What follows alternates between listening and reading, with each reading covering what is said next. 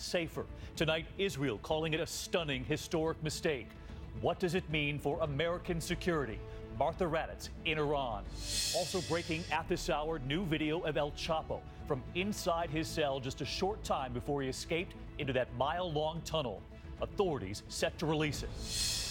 Swept away, multiple homes gone in seconds. The search for the missing at this hour, the deadly system now moving east. The miracle survivor tonight, the daughter walking out of the woods two days after a plane crash. And the other plane tonight landing in the middle of traffic. And we're just hours away tonight. Christmas in July. It's Amazon versus Walmart. And our reporter tonight with the list of mega deals.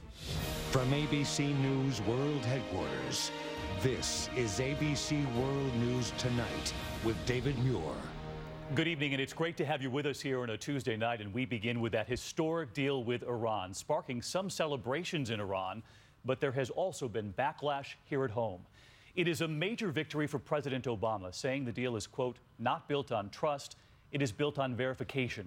Tonight, vowing to veto any efforts by Congress to derail the deal. To millions of Americans, it's an agreement few could have imagined. Those images from more than 30 years ago Americans blindfolded, held hostage at the U.S. Embassy in Tehran. Tonight, decades later, Iranians watching President Obama. ABC's Martha Raddatz is the only network reporter on the ground in Tehran, but we begin tonight with ABC's chief foreign correspondent Terry Moran in Vienna, where the deal was struck. Here they are, those jubilant negotiators in their moment of triumph. You can see it on John Kerry's face. This moment has been a long time coming and we have worked very hard to get here. 18 days in Vienna, two years of high stakes diplomacy, six years since President Obama first reached out directly to Iran's supreme leader, and 36 years since this. The 1979 hostage crisis, Iran holding 52 American diplomats and citizens hostage for 444 long, terrifying, humiliating days. Today, Mr. Obama charting a new course. This deal offers an opportunity to move in a new direction. We should seize it. Iran now agrees to sharply cut back its nuclear program that has alarmed the world by dismantling two thirds of all its key nuclear machinery for 10 years, reducing its uranium stockpile by 98% for 15 years, and submitting to continuous international monitoring and inspections. And the U.S. agrees to help Iran thrive by ending those crippling economic sanctions, recognizing Iran's right to even keep a peaceful nuclear program, and allowing Iran over time to buy weapons, even ballistic missiles. This deal demonstrates that American diplomacy can bring about real and meaningful change. Critics pounced on the deal. Among the first and fiercest, Israeli Prime Minister Netanyahu, who called it a stunning, historic mistake. But Secretary Kerry shot back in a spirited interview with us today. The alternative is to what? Go to war immediately? Bomb them? Sanction them further? Well, wait, no, you can't sanction them further. For decades, the United States and Iran have been sworn enemies, but you got the sense here today that a new era has begun, for better or worse. David? Terry Moran in Vienna again tonight for us. And ABC's chief global affairs correspondent Martha Raddatz, the only American network reporter in Iran, reporting tonight from one of those celebrations when word broke that the crippling U.S. led economic sanctions will be lifted. Good evening, David. Coming to you from the very noisy streets of Tehran, where spontaneous celebrations have been breaking out tonight, celebrating the historic deal between America, its partners, and Iran. All of these people know that those punishing sanctions will be lifted within the next couple of months, and many civilians, many of these people, have suffered under those sanctions.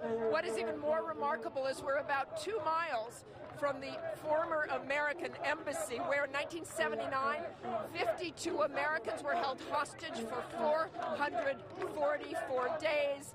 That event changed the relationship between Iran and America for 35 years. But here we are tonight. David? Martha Raddatz in Tehran, where some are calling this a victory tonight. Martha, thank you. It is also a major political victory for President Obama. But tonight, the fierce opposition already on Capitol Hill. Some members of Congress vowing to fight it, determined to knock down the deal. So we sent Jon Karl straight to Capitol Hill, where he heard an earful tonight about what they plan to do. Walking the halls of Congress, we found Republicans unified in opposing the Iran deal. Leading the charge, freshman Senator Tom Cotton. So what do you think of this deal? It's not bad. Terrible, tragic mistake. Cotton tried to derail the Iran negotiations back in March by writing a letter signed by 47 Republican senators and sent to Iran's supreme leader. It warned the next president could undo any agreement with the stroke of a pen. Now he says he wants Congress to kill the deal. Okay, so what's the bottom line? How bad do you think this agreement is? It may be the worst diplomatic agreement in the history of the United States. Really? Why? Because it's putting an outlaw terror-sponsoring regime on the path to a nuclear weapon. Jon Karl back at the White House from Capitol Hill. And John, Congress now has 60 days to vote on this deal? Yes, and President Obama has said point blank today that he will veto any effort by Congress to derail this agreement. Republicans would need a lot of help from Democrats to override that veto. I would be surprised to see that happen, David, but I've got to tell you, there is a lot of Democratic concern tonight about this agreement. All right, Jon Karl, Martha Raddatz, Terry Moran, our thanks to you all. In the meantime, tonight, we are also following new developments in the international manhunt for El Chapo. On the run after that brazen prison break. Not the first time either. Here he is right here, hauled back in after his first prison break. That time on the run for 13 years. Tonight, authorities studying that hole at the end of a mile long tunnel where El Chapo emerged to freedom. There is word coming in tonight. They are preparing to release video of El Chapo in his prison cell a short time before the escape. ABC's Gio Benitez on the ground in Mexico for us again tonight. Tonight, Mexican officials issuing a bounty, offering nearly $4 million for information leading to the capture of one of the most notorious men in the world, Joaquin El Chapo Guzman. This is the most recent photo of El Chapo, now bald and without that famous mustache, and gone without a trace. Three top officials at this maximum security prison now fired. Authorities telling us someone on the inside must have helped him escape to this house, which remains under tight security. The house is set just a mile away from the prison where El Chapo escaped from. That escape route starting beneath his shower. A ladder dropping him 30 feet into a well lit, ventilated tunnel, custom built to his height, just 5 feet 6 inches tall. Also inside, a modified motorcycle to help carve the passageway. El Chapo climbing out of this tunnel, undetected and vanishing. Given its sophistication, it probably cost at least $5 million, but to Chapo Guzman, that would be like $5. Tunnels like El Chapo's escape route dot the U.S. Mexico border. This elaborate one opening right underneath a San Diego warehouse. Sources now telling us that El Chapo's escape means more violence in Mexico and more drugs into the U.S. David? Gio Benitez in Mexico again tonight. Now to the severe weather turning deadly tonight in this country. The map saying it all 60 million Americans in the storm zone at this hour. From Cincinnati to D.C., Memphis to Atlanta. Flash flood watches in nine states now, that line of storms marching eastward. It is the same system wreaking havoc in Kentucky. In Flat Gap, Johnson County, homes washed away. Just incredible scenes there under the bridge.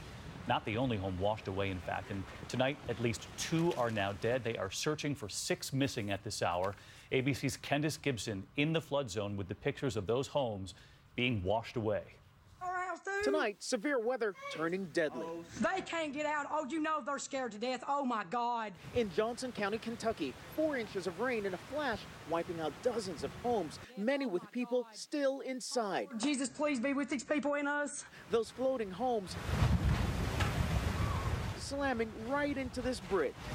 This is your brother's place. Yeah, this is my brother's place. Paul Stapleton's family washing away with their home.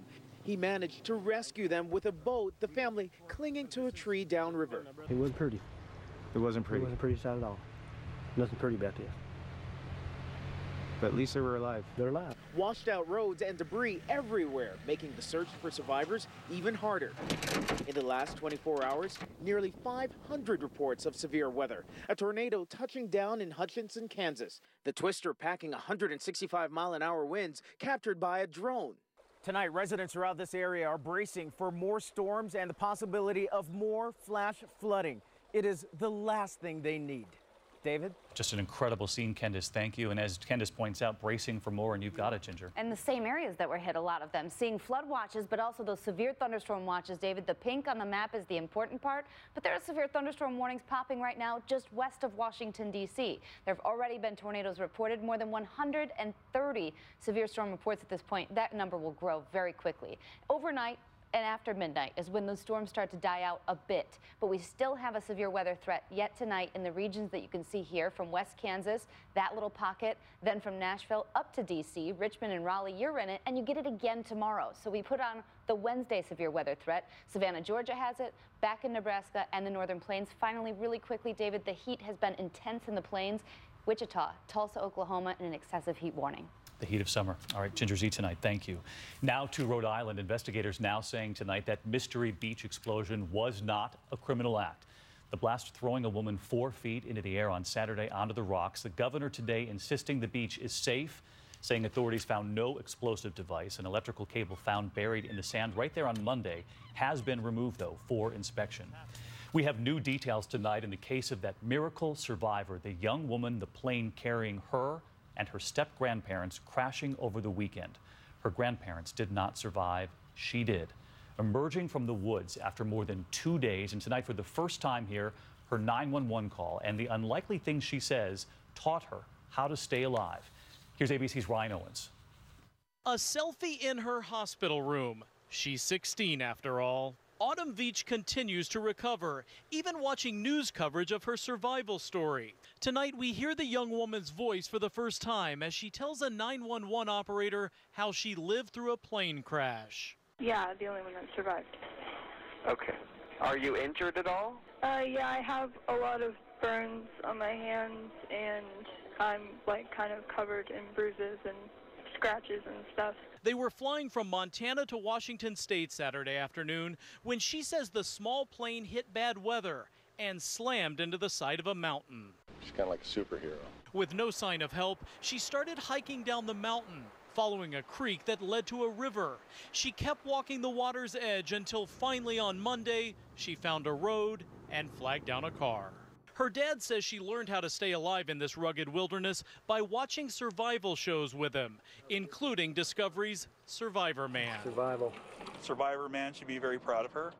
Tonight, Autumn is undergoing tests here at the hospital to see if she'll have to spend a second night.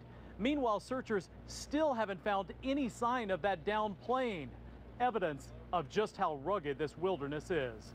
David? Really is an amazing story, Ryan. Thank you. We have new developments from Boston tonight. The son of that Boston police captain, the veteran officer, one of the heroes during the Boston bombings, turning in his own son. 23 year old Alexander Ciccolo under arrest, accused of plotting an ISIS inspired attack in court today. Prosecutors laying out the evidence, including videotaped interviews in which he reportedly calls the victims beheaded by ISIS, quote, the criminals. The judge saying he could be a threat to the public. He will be detained until the trial. Now to California tonight, authorities under fire there in what had been called the real life Gone Girl case. The young woman and her boyfriend accused by police of staging her kidnapping. That couple now vindicated, the FBI coming forward with a suspect, a Harvard law graduate now under arrest. So tonight, ABC Cecilia Vega tracking down the police who did not believe that couple. Tonight, a resounding we told you so. Today, there is vindication. Today is a fabulous day for Denise Huskins, for Aaron Quinn.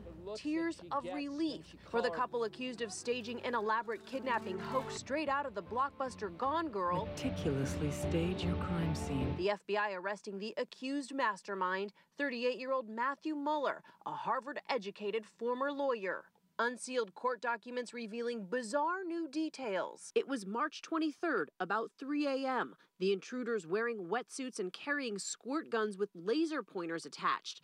Investigators say they tied up, drugged, and forced the couple to wear swimming goggles with tape covering the lenses and headsets, a pre recorded calm sounding voice giving orders. Huskins telling police the intruders had protocols in place as if they'd done this before. Two days later, Huskins emerges 400 miles away near her father's Southern California home. The FBI says near Mueller's home, agents found goggles with a strand of long blonde hair the same color as Huskins. But tonight, the police department that called the whole thing a hoax is not apologizing. Does the Vallejo Police Department owe this couple an apology? We're going to evaluate that when the investigation is complete and then go from there. Did you drop the ball? I don't believe so, no. And now different